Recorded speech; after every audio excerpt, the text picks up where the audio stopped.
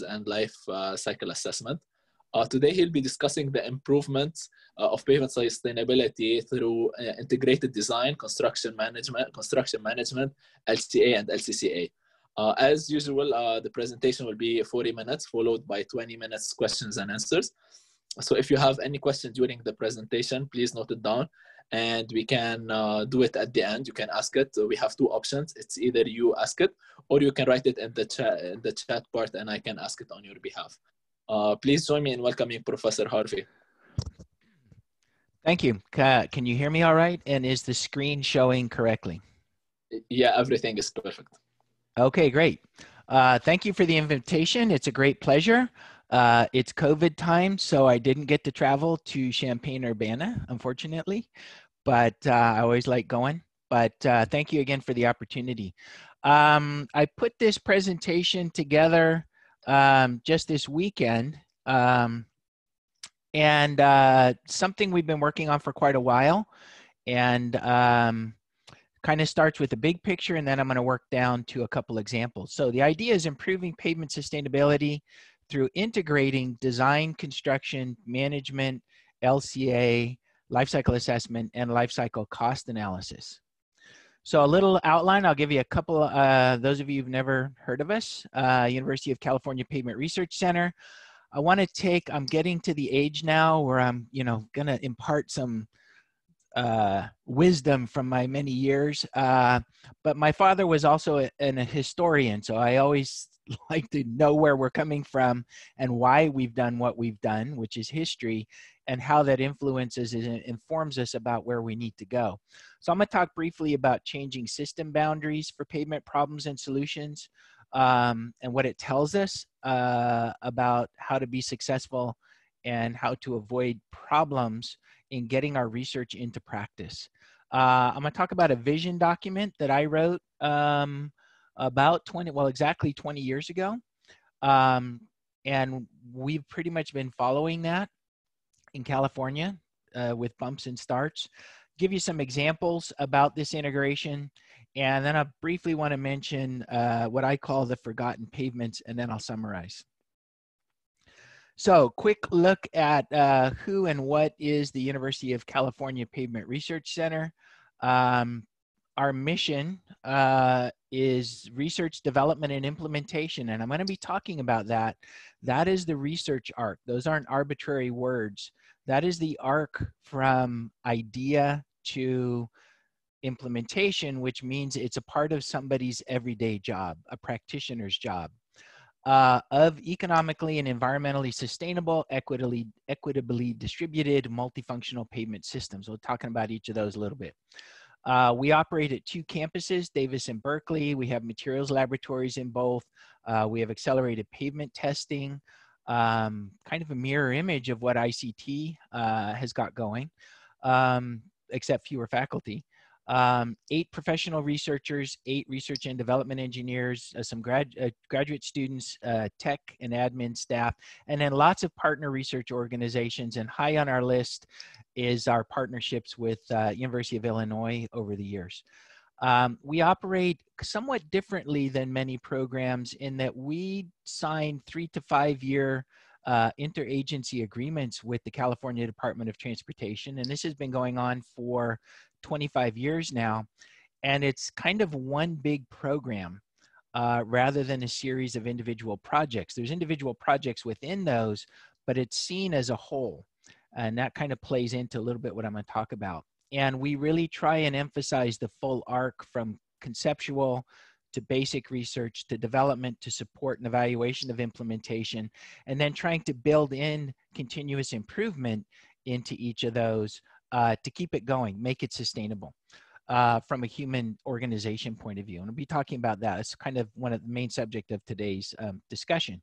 And this is all titled uh, very much on purpose the partnered pavement research center because we really look to go out and find the world's best expertise and bring it to california. We have basically a, a technology scanning um, and adaptation. We don't use the word stealing um, borrowing uh, program as a part of this. Uh, I'm stuck. There we go. Okay, so some changing system boundaries going back 80 years. Okay, so looking back in the 1940s, the main focus was on pavement materials. And then people began looking at pavement structures. Um, some of that came out of California, the California bearing bearing ratio, which we haven't used since 1942 for state highways, but it still has the name California on it. Uh, then it, it, was expanded to pavement uh, um, structures. And then once the network had been built out, we had a network of pavements that had been built and we sort of sorted that out. And then lo and behold they started needing maintenance and rehabilitation and we had limited resources and we had to prioritize those. So then we began thinking about sustaining a pavement network. This is kind of where if you look at other countries and their pavement development um, pavement network is where china has been focusing and mexico countries that really built out their pavement networks um, starting around 19, 1995, 2000. Um, this is where India is beginning to transition as India upgrades its pavement network. Then we began thinking more about how this integrates with the rest of transportation. Uh, then we had to think about environmental sustainability and much more about cost sustainability over the long haul. Uh, and now we're dealing with climate change and we're having to think about how do we make this resilient in the face of climate change. And then the public, as they learn that pavements can do more uh, and, and, and, change and affect their other things besides carrying vehicles, we're needing to think about multifunctional pavement. So this is a very busy table, and um, I believe I can make this, uh, I'm allowed to send this over and you guys can post the presentation. Is that okay? I, I don't want to go through all of this, but I'll, I'll just, this is my summary of um, kind of starting when we began to think about these increasing system boundaries across this, what the research was, and that we had to then go from research to development to try and get into implementation. And then a few examples over here, very cherry picked, uh, mostly focused on what I know uh, some examples of some of these things. And some of these things, as we increase the system boundary through our infrastructure focus on the left-hand side, some of these things we've been pretty successful and as a pavement enterprise, and some of these things we've gotten stuck in some places for various reasons. And thinking about why we got stuck, and in some cases, um, I've seen stuff, we're working on some stuff right now that, you know, in October, we're going to finish a research product and it's going to go out to training and implementation on November 15th. So that's just straight straight off the presses straight into implementation. And then I'm I've been around long enough that there's some things that I've seen attempted to get implemented two or three times over the last 40 years and we still haven't really gotten it going. So why why were some things successful and some things weren't? So uh, in 2000, 1999, I was starting to think about these bigger picture things, and I wrote something called we call the vision document. And you can Google this vision document. The link is down in the lower left-hand corner. If you just Google UCPRC vision document, you can see it. This was published in December 2000. Um, and and that was written i'd already been in the business for 15 years 20 years or 15 years and five years working with the dot and i had a, an awareness that were large important changes that we needed in what i call the pavement enterprise. Uh, and we had a history of repeated failures in getting to widespread implementation in some of these. Um, and in addition to things we already knew in the pavement enterprise that we needed to change we started to see things coming from outside systems uh, outside of the pavement enterprise, which were going to require the pavement enterprise to make additional changes. So I put this together because um, Jorge Prozzi, who was is a UT professor now, he was a doctoral student. He says, John, you talk about a lot of stuff, but I just doesn't, it's not very clear what the heck you're talking about. So why don't you write it down? And the, the, the purpose of this was to try and lay out a strategy, comprehensive strategy and plan to try and not re- repeat mistakes of the past, replicate successes of the past, and find a path forward to get research into practice, and then make that a system for a sustainable system for continuous improvement. So some observations regarding the problem to be solved. Uh, decision making, much of the decision making in the state agency and definitely in the local agencies was not data driven by data.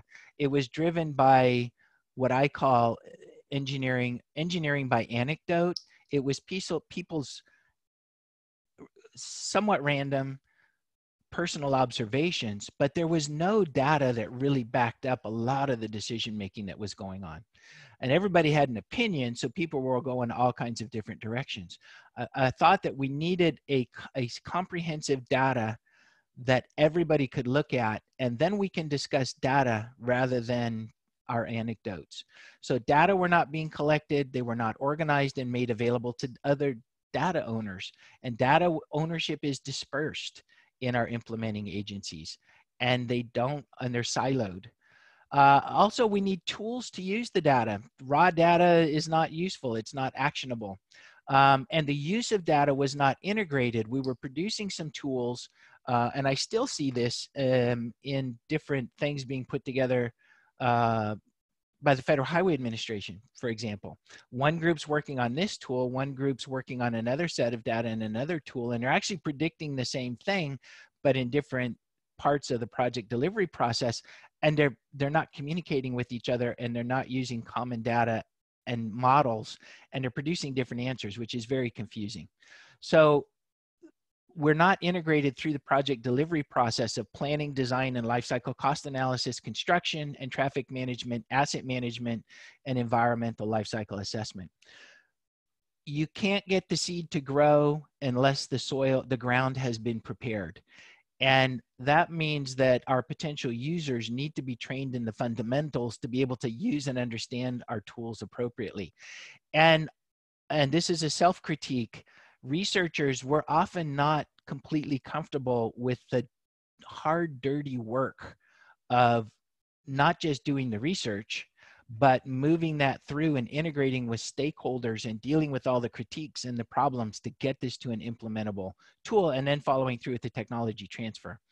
So some observations regarding how to successfully move forward. Um, we need to have appropriate training at all levels and and at the policymaker level that means about 15 minutes that they can get a handle on it um, managers industry as well as the frontline staff we normally deal with support for implementation. It takes on average and there's a huge spectrum it takes on average about eight to ten years to move from concept to implementation. And you've got to have support for that all the way through. Um, and during that time period you have high turnover and changing responsibilities in the implementing agencies and we must be able to communicate as new people come in communicate in a few minutes the whole arc and where we are on it. So we can't just complain about this. This is not something we're going to change but we have to figure out how to deal with this. So those are the ways forward.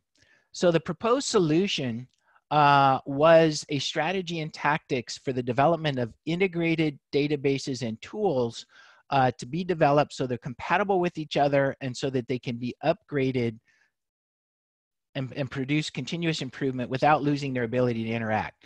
Um, this requires integration of software specifications, workflow processes, information flow, equipment, and methods. A little bit of advice I got along the way discussing this with folks is to be successful with um, implementation, um,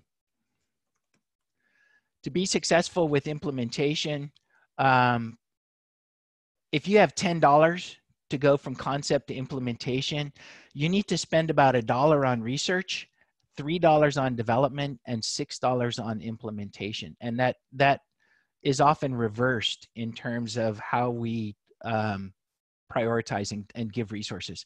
The other advice came from the then director of Caltrans research at that time. And he said, you know, this, is is more of an IT problem than a pavement problem, and state government is lit, and particularly in California. You see my little headline from August over there on the right hand side. Uh, continues. State government is littered with IT failures because people with technical domain knowledge were in charge. The idea is you can't just let the pavement people try and solve the IT problem. You've got to go and solve it as an IT problem. You've got to understand how to do that and deal particularly with the data ownership issues uh, within the organization. Okay, so here's an org chart. Uh, we have to be able to precisely answer these questions. And these are questions that make a lot of researchers, including myself, uncomfortable because the people who are going to support implementation need answers to these questions. And we can't hem and haw and, and waffle. The questions are, is this a solution for something that's important to the implementing agency? Or do we have a solution? Do we have a hammer and everything looks like a nail? Is this a solution looking for a problem to solve? Are we really solving their problem, not our problem? How much money will it save? And we need to turn that answer around into a life cycle answer. How much will this improve the environment? Greenhouse gas, in particular in California, but uh, uh, all the other environmental problems. What is your confidence level that this will work? Um, the answer is never I'm absolutely certain it's 100%, it's not usually not an honest answer, but you have to give your best best understanding of that, understanding all the issues of implementation. Where are we in the process and what are the risks and what's your risk management plan? Now, out of all of this, uh, develop the idea of the pyramid. And oftentimes the management would ask me the question, okay, you're going to solve this problem. Which software package should I use? And we used to say software package is the top of the pyramid. And when Pharaoh asked his engineer to build a pyramid, the engineer said, Well, I need to start at the foundation. And the foundation in, in this solution for everything is the data. We need the data foundation to do anything else that we want to do. And we must recognize that. And that's where the bulk of the effort, the issues, and the money lie is in, is in building that database. Uh, and this applies across our pavement management system, our design systems, our costing systems, and our environmental systems. And we need to be able to update that information. Data changes, things change. We need to be able to have a, a process for updating that. Databases first, software after data. And in between are the models. Got to have all those before you can get to the final solution. This is the same thing applied. This comes from Federal Highways document on the right-hand side. This is a little bit better. Developed this about eight years later. Um, the key first is a framework, and then we have to do the data definitions, and then we collect the data. Once we know what data we need, then we have to get that data validated and organized. Then we do the models and the tools, and then we can turn that into actions. Um, where this is at in LCA is is is they're developing the data, the framework's done, the data definitions for background data are being done. Um, some folks like University of Illinois and the Chicago Tollway LCA, you've already gone through this entire process uh, on a local level. Thinking in terms, and this is where you need to start thinking of integrating, getting all your tools and all your data. If you need are using the same data for different tools, you want to define that data the same. Otherwise, the data uh, from that you develop can't be used for all the tools. And, you, and if it's the same thing, you want to be using the same data. So you need to have same data definition. So this is what uh, one of my colleagues calls a confusogram. Um, but this, this is a mapping out of our tools on the left-hand side and the data definitions that are common to each of these tools.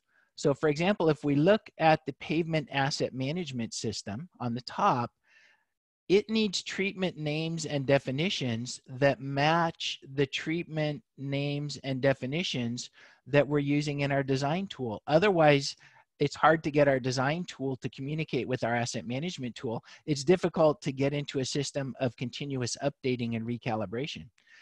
Um, our asset management tool should use the same treatment materials, names, and definitions as our lifecycle cost tool and our treatment names and definitions as our lifecycle cost tool and the same as our lifecycle assessment tool. If our costing tool is calling things this and our life cycle assessment tool is calling things something else but it's the same thing it's it starts to make things the whole system starts to break down and lots of inefficiency comes in and confusion okay same thing applies to models i won't go through all of these but this is the mapping of the different models that we use and many models we want to be able to use um, across different tools. We want a roughness model, an IRI model that we're using in the asset management system should be, we want to use the exact same model when we're predicting pavement vehicle interaction and greenhouse gas and air pollution, et cetera, from, from vehicles using uh, the pavement in the life cycle assessment tool. We want to use the same IRI model.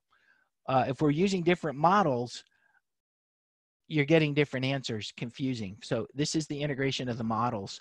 This is how we communicate it with upper management. They say what the heck are you talking about? And this outlines the databases on the left. This is not as comprehensive but databases on the left models in the middle and software on the right.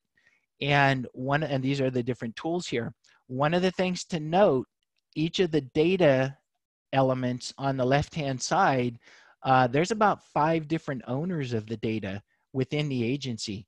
And getting those folks together uh, took us about 10 to 15 years to get them working together to use common definitions, etc. How do we communicate with management where we're trying to get, where we're coming from, and where we are? So this is what we call our uh, research arc roadmaps, and we have them for about 16 different areas that we're working in. Um, the idea is to develop and use a design, this is mechanistic empirical design for concrete. The vision is always in the upper right to develop and use a design procedure that provides the most accurate prediction of concrete pavement performance possible within reasonable time and cost. That needs to be in one paragraph, short paragraph, that management can understand where we want to get to.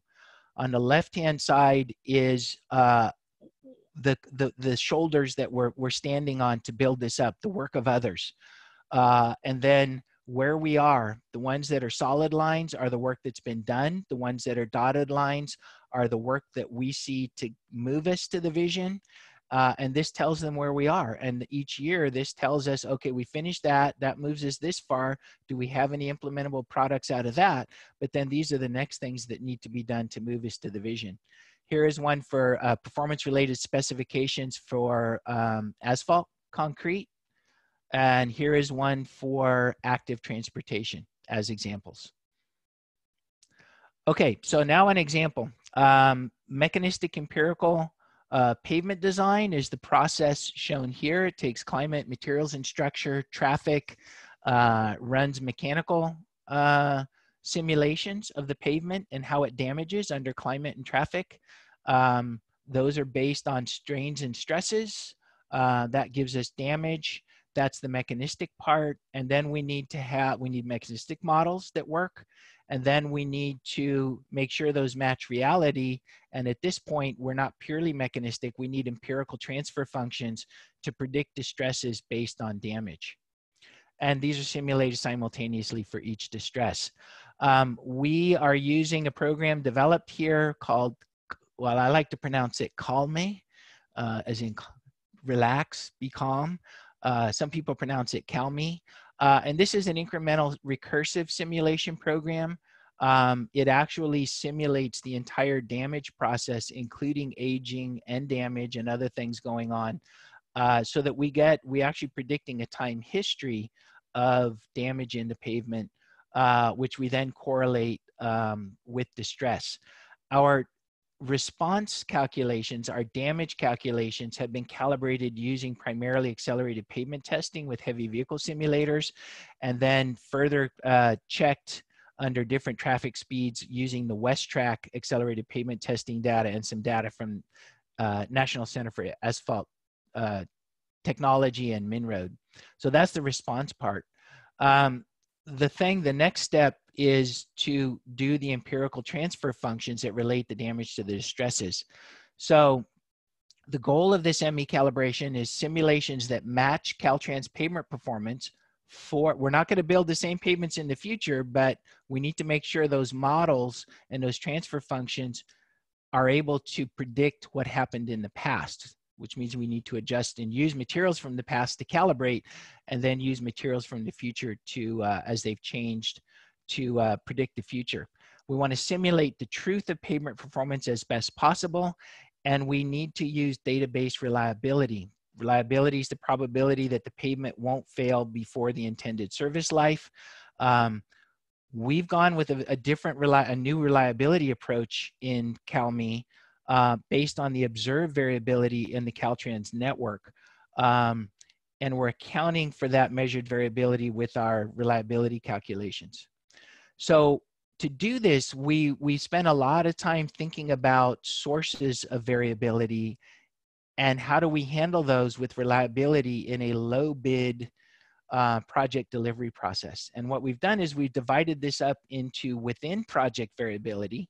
And within project variability is the variability of construction for a given contractor with a given one material uh, and what's the variability of the materials production and construction processes within one project. And this incorporates whatever subgrade variability we haven't accounted for, et cetera, but it's for one material, one contractor. So what we've done is we calibrate this with the distribution of cracking as a cumulative distribution function within a given project. And then when we go to design, we're using um, data that we have for distributions of critical inputs that, that change that within project. When a pavement fails, it doesn't fail like yesterday the entire project was good and tomorrow the 100% of the wheel path is cracked. And so this is really tracking the progression within a project. And we use Monte Carlo simulation uh, for that within CalMe. The other variability is from project to project, between projects, and material to material. And what we found is that the majority of the variability between projects is based on the variability of the performance related properties of the asphalt material um, from producer to producer, project to project. Now, a designer does not know the properties of the material that the low bid contractor is going to going to give to us because low bid is design bid build, which means that you don't know who won the job when you design the project. So what we've done here is that we have um, set up distributions of materials performance related um, uh, properties and we've set a reliability level on the between project materials based on testing we've done uh, over the last five years to set that up. Um, so the conventional approach to mechanistic design calibration, you go out and you get a set of test sections and you test the materials properties and you use those materials properties for those test sections to do your calibration. You simulate knowing the properties of the, of the section. Typically you can't afford to do that on more than about 50 to 200 miles of pavement. Small test sections distributed because there's a lot of field testing and lab testing. And you're testing these materials five to 20 years after the thing was built um, the approach we, we said that's not very efficient and we want to use big data analytics to do our calibration we want to use the entire network of Caltrans asphalt surface pavements since they started collecting data in 1978. Now, we can't go get the materials properties for all that. So we can calibrate for the things that a low bid project designer knows, but we use statewide median values, 50% reliability for the factors that a low bid designer doesn't know. And we came up with median values from our historical properties over that period since 1978. What they don't know is the, the materials performance related properties. And by the way, we so this approach we've also just used to calibrate our pavement ME concrete uh, design method as well. Um, so instead of having 50 to 200 miles of observations, we have hundreds of thousands of miles, lane miles, I'm sorry, tens of thousands of lane miles of observations, and we have hundreds of thousands of observations. Um, and now we had to characterize distributions of materials. Luckily, we've been doing performance related testing um, since uh, 1995. And so we had a pretty good idea what these properties were, even for these historical periods, and had median properties for these different periods. This just gives an idea. So we have hundreds of miles of data for different thicknesses, for different structure types, for different binder types, um, for different climate regions, and so on. Uh, and there's a lot of variability of pavement performance out there. That's the first thing you learn. The more data you get, you really get a sense of the amount of variability out there. And we're capturing that real variability from the entire network in the calibration. Um, to be able to come up with the distributions of materials properties um, for, the, for the Monte Carlo simulation, uh, we have numbers of sections. Um, and these are the different mixes that we're using. And out of this, we come up with median values and coefficients of variation for thickness, um, stiffness, and permanent deformation properties and fatigue properties and cement cement stabilized layer properties. Um, the within project uh, variability, we looked at uh, variability of uh, within a project because we have multiple values within projects, and that's what allowed us to use uh, for that part of the reliability calculation. So application of this now, um, we're, we're really moving more. We've done some major, very big, hundreds of millions of dollars pilot projects with performance related specifications for asphalt pavements. Our design goals, our, our, our long life standard design life is 40 years. Um, with just periodic replacement of the of the surface layer. And this integration uh, is happening as a part of this process of mechanistic design combined with performance related properties. So we're integrating materials properties design and our construction quality assurance. So what we do is uh, for a given big project we sample we have we have an idea of what materials properties are from locally available materials. We then set performance related specifications that go into the bid documents that the contractor uh, is bidding against, and they know that they need to meet those mechanistic properties with their mix. We also test for surrogate test properties uh, for construction quality assurance because those tests take longer than we can necessarily, uh, that, that we can do it for job mix formula approval, but we can't do it during construction because of turnaround time. We then design the pavement using the properties that the contractor is contracted to deliver. So we've integrated the design with the PRS. And then the winning low bid contractor must prove that their job mix formula for the asphalt mix will meet or exceed the properties that we use to design the pavement. And then we use those surrogate tests during construction to tell us if the mix has changed substantially. So uh, this is a typical example of a, of a long life structure that we're using for these big 40 year designs. It's got a polymer modified surface. It's got a high RAP mix to give us a stiff middle layer and what we call a rich bottom layer on the bottom. Uh, we've done, we're in the middle of the fifth project right now. Um, we also have some uh, better compaction requirements to get longer life out of these same materials, um, which we can capture through our performance related specifications both on the materials delivery that the contractor gives us and count on those in the mechanistic design. Um, these are the tests that we're using. Uh, flexural beam for the job mix formula approval. Uh, we're using fracture energy potential for the construction, the surrogate test. Um, and we're using uh, repeated load triaxial for permanent deformation. Uh, we have to use statistical uh, methods for accepting those materials. Um, you've got to work with your industry to make this implementable. So the way we've set this the statistical um, requirements up is that we take all of we try and take all of the testing risk off the contractor and put it on the agency so they're only really doing dealing with the risk of variability of the actual mix and then we you can't you can't meet performance related specifications and hold them to all the volumetric mix design requirements. So we, we waive most of the volumetric mix design requirements. This is an example of the specifications on the current job, Sacramento 5. And again, you all of this presentation I'll send for posting. Um, but this is the spec they're bidding on. Now, most of our contractors have no idea.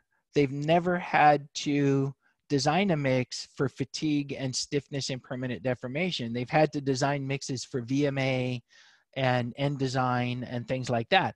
Many of them really have no idea how to go about this. That's a risk. the risk costs money. so we're trying to reduce that risk and we've produced a mixed design guidance for use with asphalt concrete PRS. There's the link.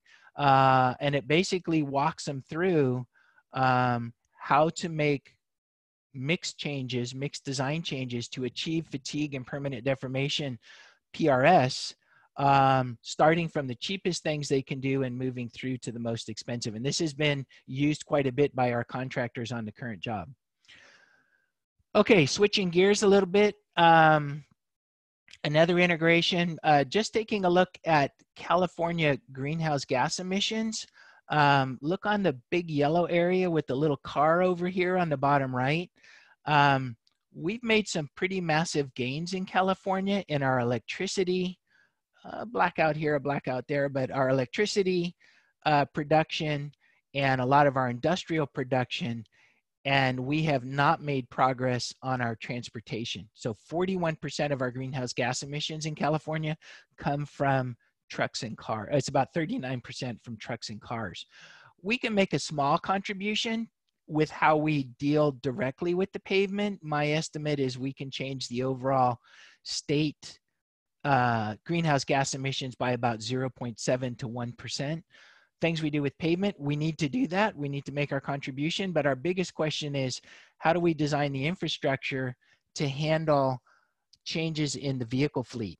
And I'll give you the quick results on a project that we just finished for the California State Legislature, allowing slightly higher axle loads because uh, electric vehicle and, and fuel cell trucks uh, their powertrain's weigh more than an internal combustion diesel engine right now.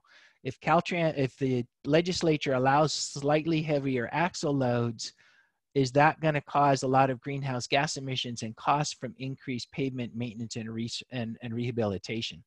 So we worked with our, our alternative fuel vehicle center and and then modeled um, both changes in cost and greenhouse gas from the conversion of trucks to alternative fuels and, and reasonable levels of implementation, and then combine that with what we expect that to do with the pavement. And then two days ago, uh, the governor just signed a new executive order uh, that we're going to be banning, as, as, long as we don't get stopped by federal government, we're banning sales of gas powered cars by 2035, new cars, and working on truck conversion.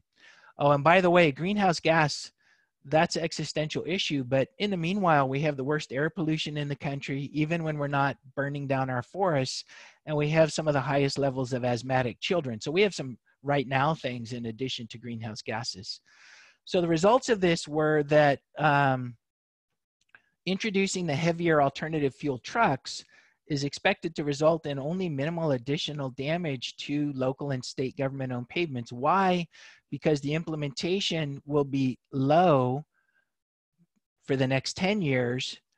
And then we expect these powertrains to get a lot lighter, and they will be a lot lighter by the time we actually get to full uh, build out of the fleet by 2050. So it's really the timing of implementation and improvements in battery technology that are going to save us. So our, our answer back was, it looks like the pavements are not going to be a big deal. And um, under these different scenarios, we can potentially reduce by 20% our entire transportation sector emissions um, over this time period. So this is a kind of thing integrating these different data and models we're able to come back with some answers for some pretty abrupt changes in what's going on so to wrap up, uh, how does state government, last thing, uh, implementation, how does state government currently pick their sustainable practices? Um, lobbyists are weighing in, consultants are weighing in, a little bit of universities. Everybody has lots of things that they think we should be doing. Sometimes these are backed by good science, sometimes not so good. Um, how do you prioritize these things? There's a thousand things we could do. And I just want to put on another integration is integration of life cycle cost analysis and life cycle assessment to prioritize by producing a supply curve of alternative technologies that we can implement to figure out and prioritize the x-axis here is each of these boxes, the gray and white box is one strategy And then how do we prioritize those? Well, the width of the box on the x-axis is how far it moves us towards our goal. And the y-axis is how much is that going to cost us per unit of change. And the idea is to prioritize these things um, so that we start with the cheapest or even the ones that save us money over the life cycle and do the cheapest ones first because that's going to move us the farthest for a given amount of money at the farthest towards our goal. And this is being done. We've done a study for Caltrans internal operations, and we've also done this for local government reviewing their climate action plans. This is the example from the Caltrans study. Um, and until you put it in this graphic of the supply curve, it's hard to capture these big numbers. Um, I'll just give two examples. Strategy four over there on the left-hand side, uh, major increase of, of RAP in our asphalt um, moves us a little bit of the way to the right. And actually the main thing that RAP does is it saves money as long as we get equal performance. The long, thin blue line there, uh, 13, a lot of benefit is maintaining our pavements in the asset management system and keeping them smoother our concrete and our asphalt uh, through better timing of our maintenance and rehabilitation. And that costs us a little bit of money, but that's the biggest bang that we can get for the buck to move us to the right. And this puts us in a very easy form for decision makers to understand. Forgotten 80% of our pavements in California, 80% of our pavements are, the, the lane miles are owned by local government. They spend about 60%, well, they spend about a third of our money and they carry half of our traffic nearly and yet we put very little attention to them. So everything we're talking about implementation needs to consider how to move it to local government. Um, based on this in the last couple years we've created a local government pavement improvement center for training best practices and then to take our caltrans tools and put them into a form that local government can use. So takeaways. Implementation research has no benefit unless it's implemented. The benefit to cost ratio of research is zero unless we can get it to implementation. Cold hard truth. This requires planning and a coordinated strategy. Implementation in, in, in, in our mind really requires data and tools that can be readily used, updated, and improved. In pavement, we think this is greatly facilitated by integration of our data and tools. And we believe this can achieve some pretty big cost savings, reductions in environmental impacts, and answer important questions as they are needed. Investment in the human capital at the state and local and consultant levels is absolutely essential. The seed won't grow unless the soil is prepared.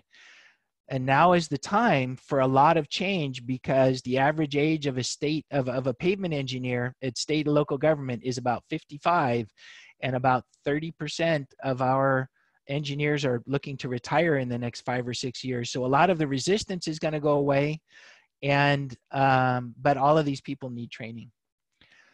And the last thing is, uh, I don't know how many have ever heard of S. David Freeman. I'd, I'd suggest that you look him up. This is one of my major role models, and I met him one time at a seminar and he said the transportation sector is about to enter a period of profound change like the energy sector in the 1970s and 80s. Regulations will be implemented requiring increasing energy efficiency and environmental performance, and you see some of that with the governor's actions. This is happening more and more. Transformation is necessary to maintain our economic competitiveness. We cannot stay in place to remain competitive economically and we are no longer rich enough to make you know try it three times and get it right on the third time. We've got to get this right the first time. We're not as rich as we used to be. And that requires that our research gets translated into practice and we figure out how to communicate with the public to achieve our goals. Thank you Thank you, Professor Harvey, for this very uh, informative uh, presentation. Uh, we do have a few questions. So uh, as I mentioned before, guys, we, we do have two options to ask questions. Either you write it in the chat or the other option is you, you raise your hand and you can ask it directly to Professor Harvey. Uh, currently, I do have uh, uh, CT asked the question in the, the chat. So basically, his question is regarding the tool itself, the CalME. Uh, and he was asking about like the programming skills. How are you guys doing the, the tool? Are you doing it in-house or are you doing some cooperation with tool developers?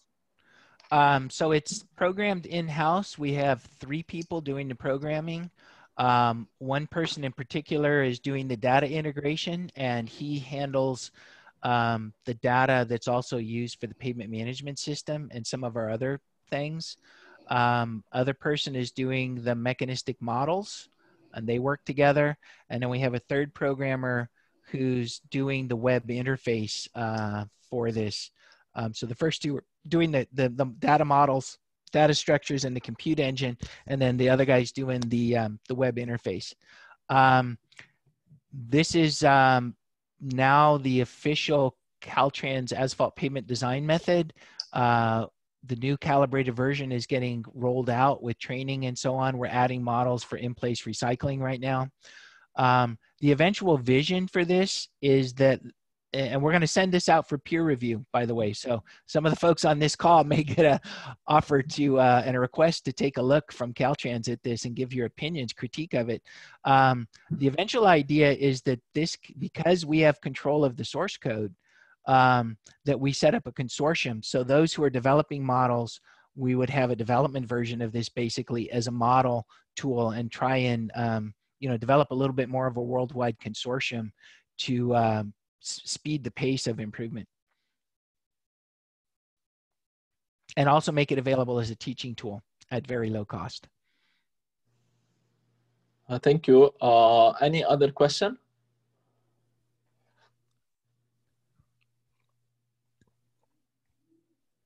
Uh, Egemen, you may ask your question.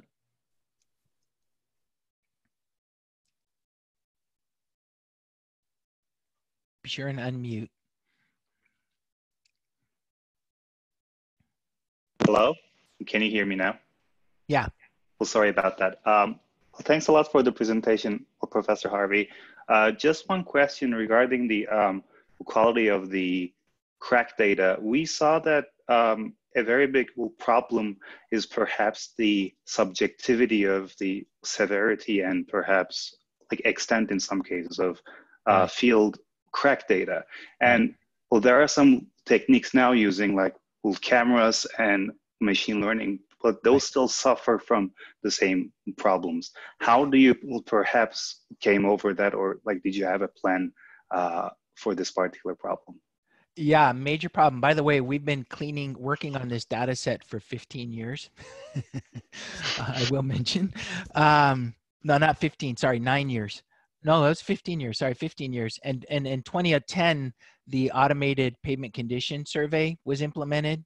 Uh, and we, we, um, so we've been dealing with this a major problem. Um, we know that our manual condition surveyors going back to 1978 had a tendency to rate things. They'd pick out kind of the worst part of it because they were trying to drive funding. So we know we've talked to them. We know the bias that they imparted there.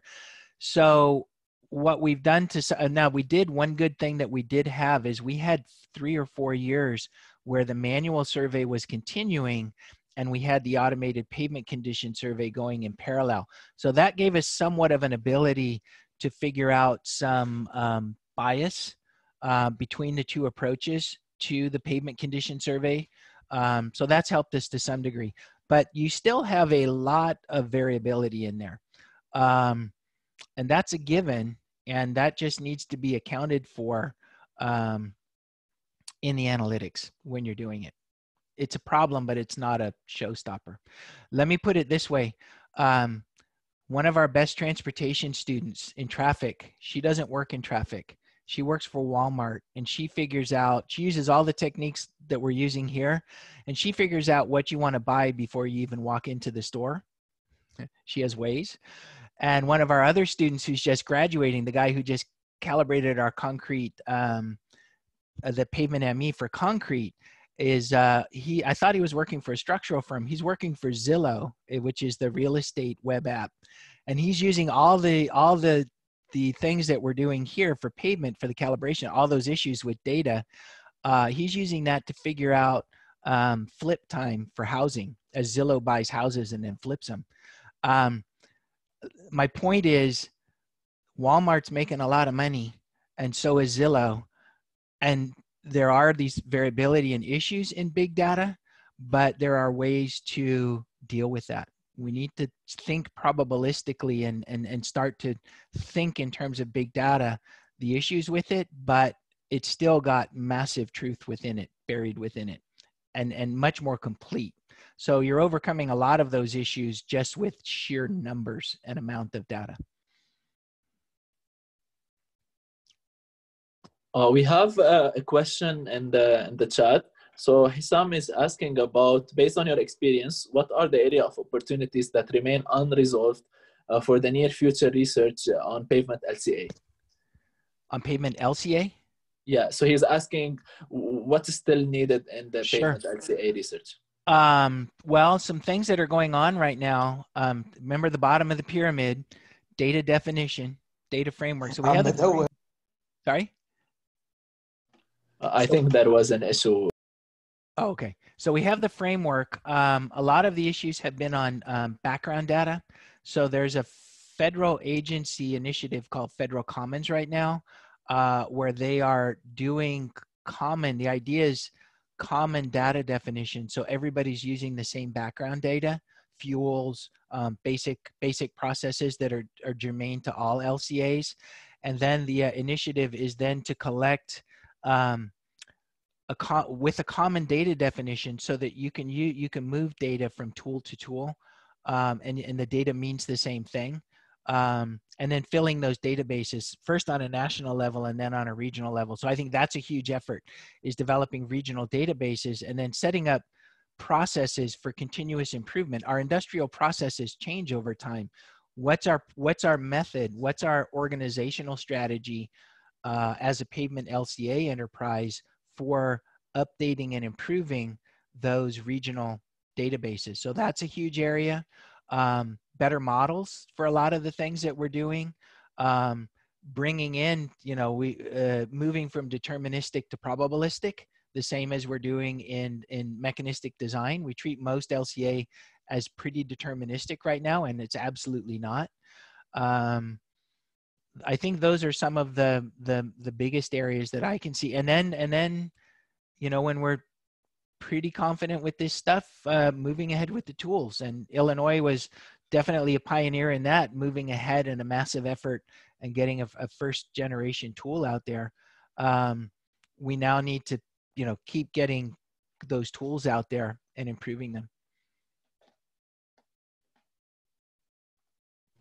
Well i'm sorry. And then we've got to keep training people and, and doing the human capital improvement uh, so that they understand lca they understand where to use it that it adds value to their decision making process.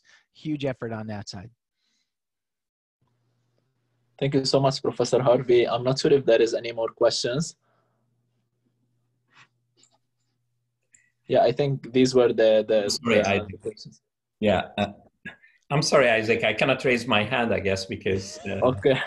considered me the host here, the, the Zoom webinar. Uh, thanks, John, again for your excellent presentation. I think one thing attracted my attention that uh, we just finished a project here in Illinois. We were looking at uh, pay for uh, for performance and relate that to the uh, quality assurance. Mm-hmm. Now, one of the things that I noticed here that you are trying to get away uh, with volumetrics and replace that with some uh, real measurements. And this is really good. Yeah, so partially, we're, we're going step by step, not exactly. complete abandonment. Yeah. And that's actually my question is how the contractors are taking this and if there is a pushback and how you are applying this because this is a major change actually oh, yeah. Huge. Uh, when it comes to to the industry yeah. So the very first project, um, Long Life Pavement meant only concrete in 1998 when the first project was being put together, and and and asphalt industry said because asphalt industry didn't have a really good reputation for longevity, uh, for a number of reasons. And they said, "Oh, oh, we can be long life too. We don't want to be completely cut out of this market." So Caltrans gave them one of the heaviest truck traffic pavements in the United States. It's the it's the interstate that leads out of the ports of Long Beach and Los Angeles, which are the number two and three ports uh, by some measures in in the country. Uh, that was a very rocky road. They had no idea how to achieve. They had no clue what is fatigue. How do I change a mix to meet fatigue? Um, that has continued to some degree. We do a lot of the early projects we had kind of a firewall that you know we were caltrans representatives. We weren't supposed to tell them what to do. Of course even help them what to do. They were supposed to sort it out. The lesson learned was we need to partner much more with them and have caltrans blessing to we understand how to achieve fatigue and rutting properties. Caltrans freed us to work informally with the contractors, keep them informed, but work informally with the contractors. And so, and then the other thing we did is create that mixed design guidance to give them the basic framework for if I do this, it gets me here. If I do that, gets me there. So it's still been kind of rocky. Each new contractor has to go through the 12 stages of, of grief, you know, anger, denial, what are they, the rest of them. Um, but what's happened is the recent projects have all been in the same region. And once a contractor gets this figured out and they've been through this once, they are in there winning that bid because they have better knowledge. They're going to apply their smarts. They went out and found other people to do the fatigue testing and they really now they they've learned the new rules of the game and contractors want to win within the rules of the game. We change the rules of the game on them once they get up the learning curve, they can play the new game. And so now what we have to do is we have to try and get into some other regions in the state so that we can get a critical mass of contractors who um, who know the rules of the game, and then the other ones will learn as a part of that. Um, joint ventures, uh, we have a joint venture on this contract, and that's helped some. So yeah, it's a process. It's an issue. That's one of the major obstacles, and step by step, and um, and, and, and trying to work with them much more directly to get them up the learning curve and out of the fear zone. All right. Thank you. Uh, thank Isaac, you so much, I, Professor Harvey. Sure. Am I sending the the PowerPoint to you? Yes, please. If you can send it to me. And in addition to that, this uh, this lecture was recorded, so it will be available on ICT YouTube page. Okay. So anybody who wants to watch it, it will be online in like an hour. Great. Thank you again. Thank you so much, Professor, for your time and all of the, the knowledge that you shared with us. Uh, thank you so much. Thank you. Okay. Bye-bye. Bye. -bye. Bye.